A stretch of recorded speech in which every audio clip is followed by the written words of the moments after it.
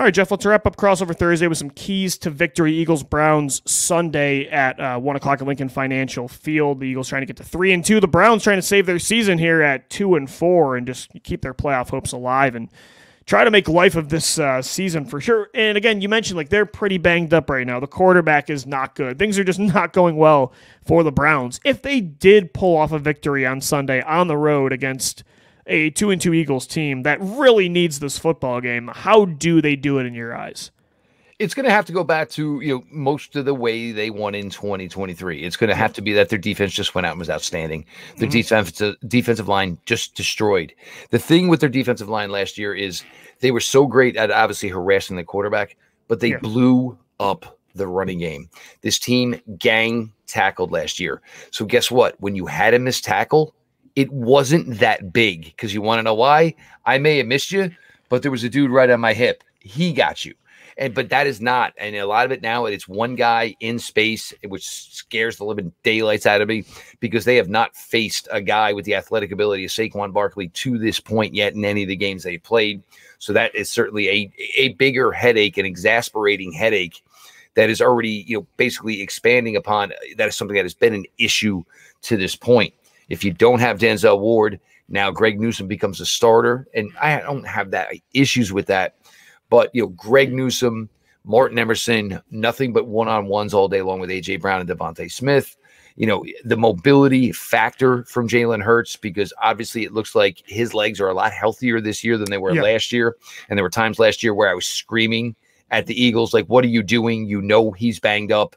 And it's your first drive of the game and it's third and eight, and you're asking him to run the ball but now he can run when he's choosing to because he feels better. He's healthy enough to do it.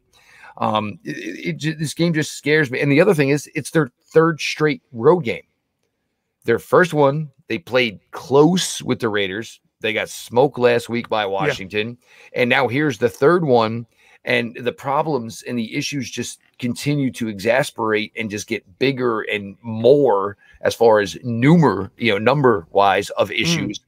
And now you have a team where Philly, and look, it's not always great to have that early bye week, but I think there's a good chance they wouldn't have had maybe Brown or Smith or either one or the other, or maybe I think they both. needed this one. Yeah. yeah. yeah. So they got that extra yeah. week early. Now your offense is going to go out there on full tilt talent wise. Mm.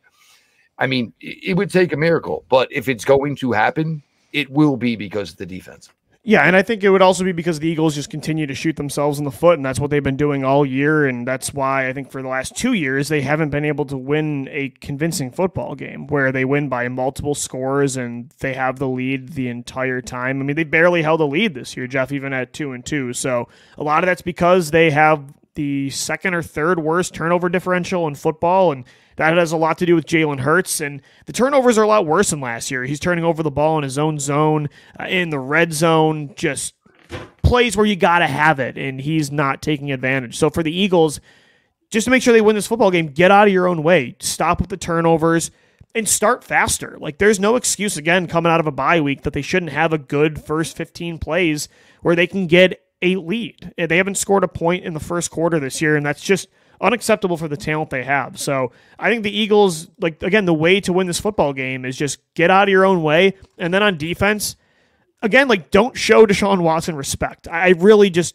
it drives me nuts. It wasn't just Vic Fangio, but it was Sean Desai last year, and it was Jonathan Gannon, and even Jim Schwartz in the past at times just would get chewed up by inferior quarterbacks. And I just hope that I mean Watson has looked so bad this year I really hope the Eagles don't continue to let these quarterbacks that look terrible against other defenses look like stars against them. So I'm not saying that's what I predict that he's going to light up this defense, especially with Cooper DeJean starting in the slot now. I love that decision.